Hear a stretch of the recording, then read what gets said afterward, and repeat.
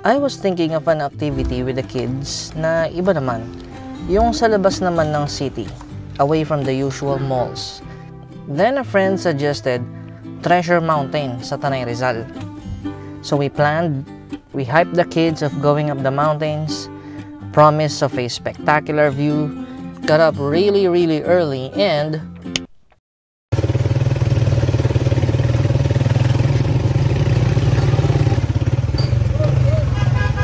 definitely not what we expected. We're walking on mud eh. It's so steep.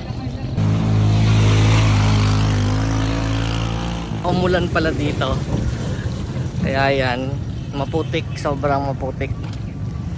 Hindi na nakaakyat yung sasakyan. Hindi naman kami na-stuck. Pero lahat ng mga sasakyan huminto na. Medyo kami na nga lang yung maliit na sasakyan na nakalayo pa. so nag-tricycle kami papunta dito. Hello, I'm hungry. Ayun ang daming chocolate oh. Yeah. The color of the chocolate.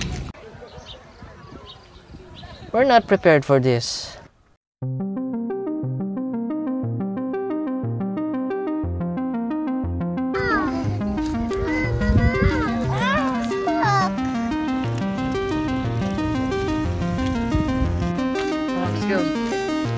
much.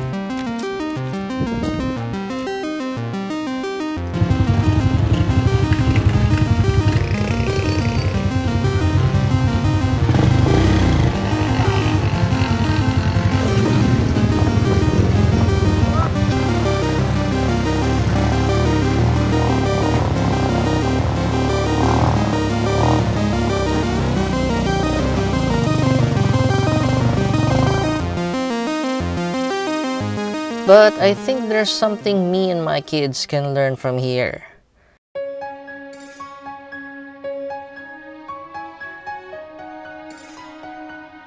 It's having the right attitude.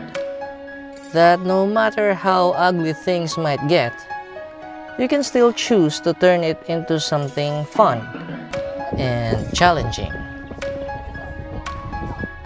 It's how we face adversity, I guess.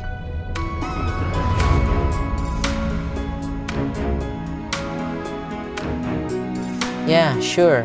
We can whine sulk. It's understandable and valid. But we can also choose to have fun instead and press on.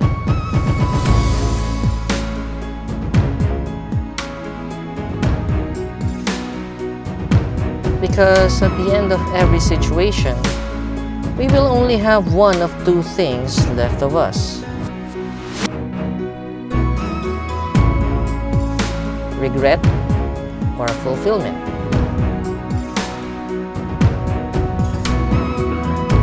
Today, we chose the latter. And it was all worth it.